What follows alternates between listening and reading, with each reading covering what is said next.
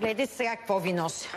Нося ви малко тикви да си подредим, защото сега отиваме... Сезона на тиквите. Да, и отиваме в столицата на тиквите, Криси. Между другото, понеже да се пруки от а, Габрово, това мисля, че в Севлиево ще бъде. И аз даже Точно мислих, че е утре фестивала. Той ме караше да ходим на Тече, фестивал на тиквата. тече празника в момента, утре е големия А, разгар, ето, апогея, той ни може би, но е. чакайте сега, Сашо Да. е там, нашия репортер. Добре. И вече, той пак яде, бе, значи това, нашите репортери или пият, или ядат. Аз Живот си живеят. работа направо, нали... Саше! Наживо си! Мигала тиква е... Пак, пак не съм разбрал. Аха, Еми добре, че ходя по живи връзки да има какво да ям, да ме гощават хората. да ви ожали човек. Сиромашките. Намирам се в столицата на тиквата, както каза Криси, това е Севлиево. Ще има много демонстрации от днес до неделя, много състезания, ще има рекорд. Началото, неговото начало ще видим малко по-късно, след 2, 3, 5, 10, 15 минути. Преди това обаче искам да кажа нещо много сериозно. Извън сценария, надявам се колегите да не ми се разсърдят за това. Намерих тази сутрин своя изгубен брат в Севлиево. Ето го. Здравей, батко. Майчице! Това е, Добре са го хранили твоя брат. това е, да, това е батко. Бате, радвам се, че най-после се намерихме. Батко е много натежал, около 260 кг е. Да. Това е нечовешко. Как е израснал? С батко ще се разправяме. Ставам в момента обаче, за да ви запозная с кмета на град Севлиево, доктор Иван Иванов. Здравейте. Как се отглежда такова голямо нещо? Ами, обикновено производителите не казват, но тази тиква е от района на Козлодуй и ние така имаме известни съмнения, че вероятно атомната централа има някакво въздействие, защото тук по нашия край няма чак толкова големи. Да, но и тук са много, може да ги покажем. И тук има много интересни и като форма. Разкажете сега малко повече за този празник обаче. Защо чествате точно тиквата? Ами за 14-ти пореден път пр- правим този празник. Чества се заради а, това, че габровци а, преди много години са нарекли Севлиево Тиквенбург. А, така и ние се шегуваме, все пак не са ни нарекли Тиквендорф. А, и успяхме така да, да използваме тази идея, за да създадем един чудесен пъстър празник през есента, когато се прибира реколтата, когато показваме плодородието на земята, когато показваме градивността на духа на севлиевци. И тази нотка самоирония, която всъщност българския народ има и в годините така му е помагала да оцелява. Всъщност и в неделя е празника на Севлиево, да кажем набързо и за това. Петков ден е празника на града. В неделя, когато ще бъде по-тържествената част, а иначе в тези дни традиционно се провежда и есения панер, който от а, 22 година на миналия век се провежда в Севлиево. Той стартира с нощи на панерната площадка с а, така богата музикална програма. Чудесно. Поканим всички в Севлиево, за да се насладят на този празник. Ние обаче продължаваме.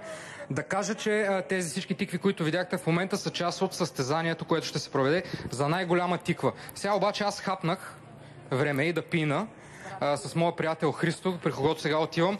Нещо, на което ще се насладят гостите на града е специален тиквен бар, а, в който ще се предлагат бар. напитки от тиква.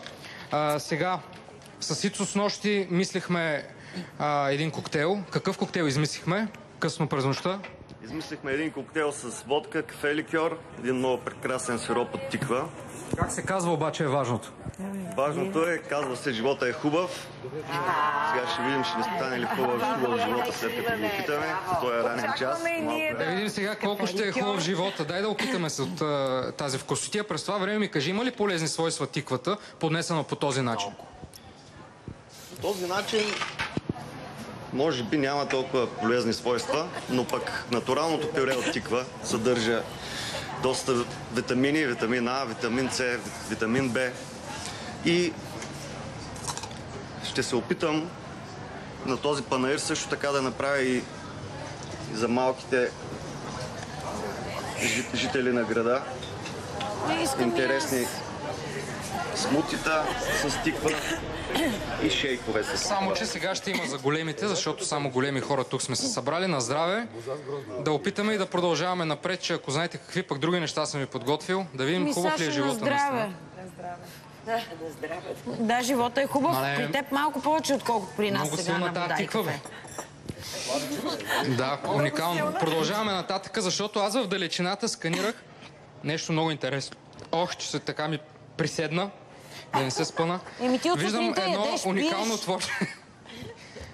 да, малко спах. Сега, кажи ми, моля те, че това не е направено от тиква. Тиква е, разбира се. От тиква е. Със сигурност има и някои елементи, които не са от тиква, но просто за да съчетаем цветовете на нашата аранжировка. Добре, всъщност това, това изкуство се нарича карвинг, нали така? Точно така. Тиквен карвинг в случая. Разкажи малко за него. Има ли то почва у нас? Има почва, разбира се, все повече колеги се опитват да съчетават, освен кулинарията и така украсяването на тъй като използват тази техника. Разбира се, тук в Севлиево от толкова години вече провеждаме празника. Винаги има участници, нови. Можеш ли да ни показваш година. през това време как се ами, прави? малко е Малко е рисковано трудно. така. Просто човек трябва да е концентриран, спокоен и а, да работи. Ще ви дам 5 секунди, за да ни покажете нещо. Ето, Бе, без да говорите, аз аз започнала тук. да, мога да пълня времето с а, безумни приказки. Тук хората могат да, да се насладят, освен на тиква и на много други неща, които се предлагат по сергиите, като мед, например. Гала, ти обичаш ли мед? Оф, ей, много смешно. Обичам мед, карвинг сме показвали и съм правила лично. Ти не прави, защото вече си пина и не е добре да Няма. взимаш тези инструменти остри. Да, но можеш брат си, който заряза там, да, да някаква причещица, нещо да му оформят с карвинг, да го заведеш. Аз мисля, че Батко ще спечели това състезание за най-голяма тиква. Сега, а, но наистина е уникално това, което правите. Изглежда и много вкусно. Това в такъв а, вариант суров не може да се яде, предполагам. Ами все повече е модерно да се консумират сурови продукти. Например, може да си приготвите смути или фреш от тиква, а, като смесите с портокал, с лимон, за да е още по-витаминозно. Иначе тиквата е много полезна, така че вариант е също да се консумира и в сурово състояние. Разбира се, просто а, сърце няма да ви даде да си смелите на машината една такава роза, примерно, и да си направите фреш. Чудесно. Отново каним хората да дойдат тук, не само заради всички тези вкусотии, а и заради един рекорд. Всъщност те рекордите вече станаха много след като видях батко колко е поразнал. А, ще се а, прави утре обаче най-големият тиквеник в България, предполагам, в света. Какъв рекорд ще бъде? Сега ще ми кажете. Тук виждаме началото на тиквеника, той ще се пече на части, доколкото разбирам. Това е съвсем в началната му форма. Да, това е сърцето на тиквеника. Колко голям ще стане този тиквеник? Кой ще ви помага да го правите? Защото аз знам кой и мисля, че ще е интересно на зрителите. А, тази година отново в същия състав няколко ресторантьори, също така хотелиери дават всичко от себе си, за да бъде тиквеника много по-голям. Нацелили сме така едни 300 метра, мисля, че ще е добре, тъй като с всяка изминала година хората, които искат да опитат от тиквеника тук, стават все повече и ние постоянно увеличаваме метрите от 289, мисля, че беше миналата година. Сега сме решили да е 300, да, да успеем. И ще ви помага нашия приятел Оти Бачваров.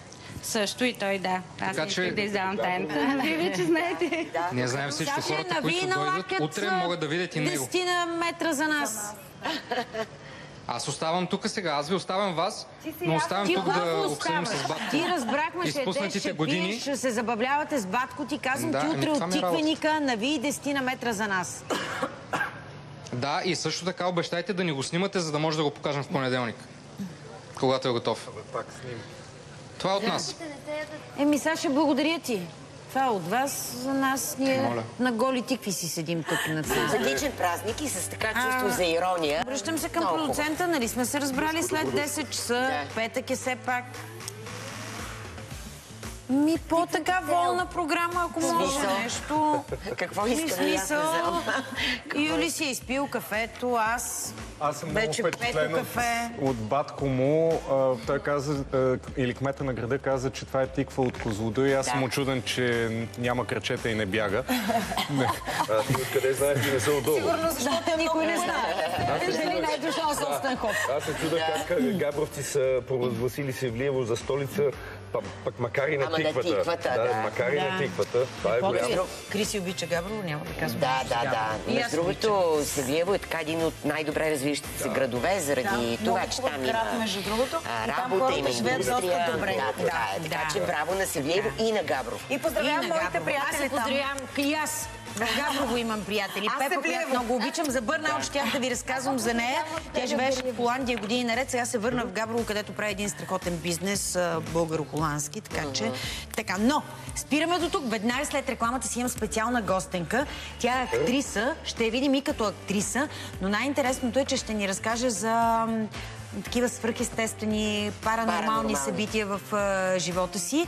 И освен всичко останало, ще видим в ролята на художник. Как и какво точно ще направи Милена Маркова Маца след рекламата. Сигурно ще се забавляваме и ще се усмихваме много с нея.